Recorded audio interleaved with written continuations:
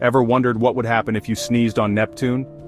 It's a question that might not cross your mind every day, but let's dive into this fascinating scenario. First off, bless you. But here's the cosmic twist. Neptune, the eighth planet from the Sun, is a world of extremes. Its atmosphere is composed mainly of hydrogen, helium and methane, giving it that beautiful blue hue. But don't let its serene appearance fool you. Neptune's atmosphere is incredibly hostile. The temperatures can plunge to a bone-chilling minus 200 degrees Celsius. Imagine your sneeze in such an environment. The moisture in your breath would freeze almost instantly, transforming into icy confetti.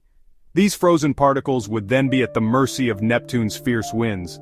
Winds on Neptune can reach astonishing speeds of up to 1,500 miles per hour.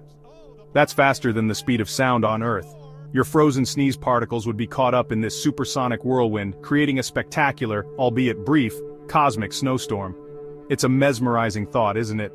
A simple sneeze turning into a dazzling display of icy particles swirling at incredible speeds.